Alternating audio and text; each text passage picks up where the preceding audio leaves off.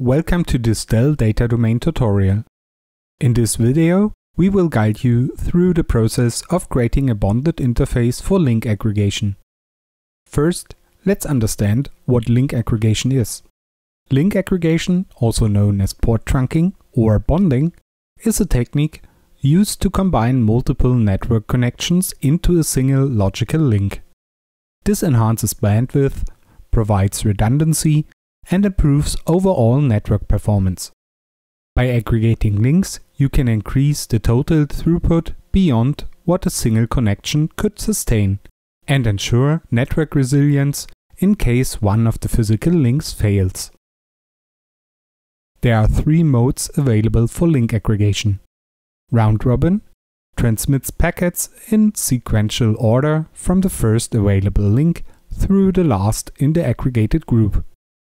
Balanced data is sent over interfaces as determined by the hash method selected.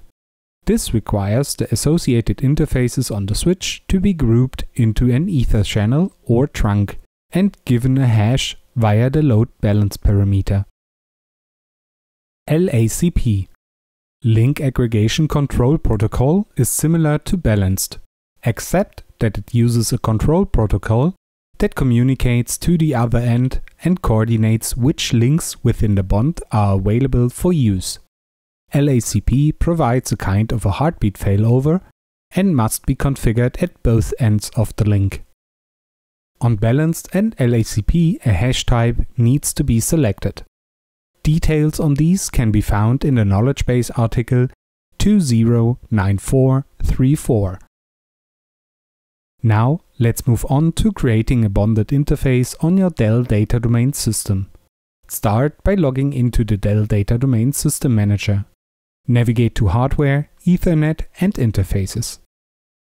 In the Interfaces table, deactivate the physical interfaces that should be bonded by setting the Enabled column to No. Now click Create and select Virtual Interface.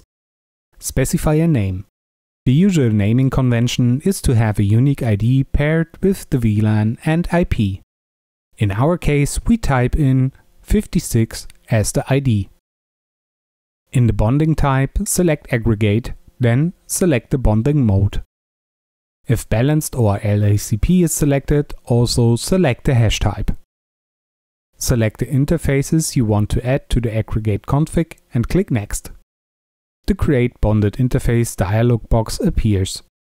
Enter an IP address or enter 0 to specify no IP address. Enter a netmask address or prefix. Specify the MTU settings.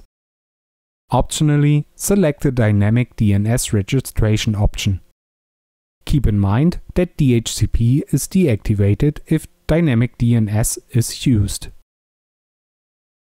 Click Next and check your configuration on the summary page. Click Finish and OK. In the interface table, you may need to enable the virtual interface if no IP was selected. And that's it! You've successfully created a bonded interface for link aggregation. For further information, please refer to the Dell Knowledge Base article 209434, linked in the video description. Thanks for watching.